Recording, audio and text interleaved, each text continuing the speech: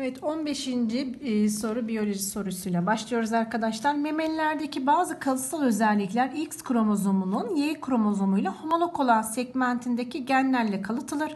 Buna göre X ve Y kromozomlarının bu segmentlerindeki genotipleri heterozigot olan anne babanın oluşabilecek çocuklarıyla ilgili yargılardan hangileri doğrudur? Arkadaşlar şimdi X ve Y kromozomlarının e, homolog kısımlarında taşınan bir özellikten bahsediyor. Yani bunun anlamı hem X hem de Y kromozomu üzerinde taşınıyor. Peki biz e, dişileri nasıl gösteriyorduk? XX, erkekleri XY.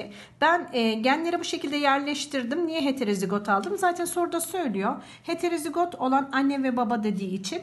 Yani heterozigot durumu nasıl oluyordu? Biri baskın, biri çekinik gen. Dişilerde X kromozomunun üzerinde büyük A, diğer X kromozomda küçük A.